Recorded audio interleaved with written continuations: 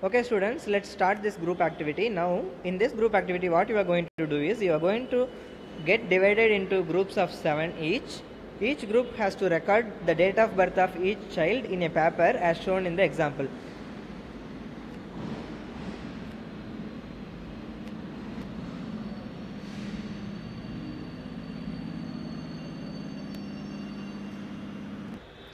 Okay, let's continue this. So you see an example here, right? You see an example where it has shown that one student has been born as on 2nd October 1998 and uh, you have to write that uh, as 02 the date and then the month as 10 and then the year as 98 so if you write all the uh, children's number like this seven people's num- uh, date of birth as a number here you have to find the eldest person who who is the eldest. And then also you have to find the youngest who is the youngest among this. And then arrange their names in the chronological order.